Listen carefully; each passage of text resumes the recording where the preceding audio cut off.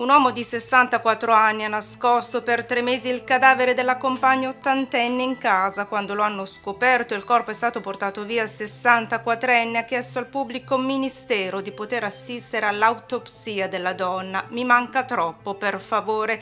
Ha spiegato al PM che ovviamente ha respinto la sua richiesta. Secondo quanto riportato dal messaggero, il 64enne è indagato per occultamento di cadavere, ma è stata richiesta una perizia psichiatrica per verificare modificare le sue condizioni mentali. Secondo le prime informazioni, la donna sarebbe morta per cause naturali, ma i carabinieri che indagano sulla vicenda vogliono vederci chiaro e capire se per caso l'ottantenne percepiva redditi o pensioni e se l'uomo li prendeva al posto suo dopo il decesso.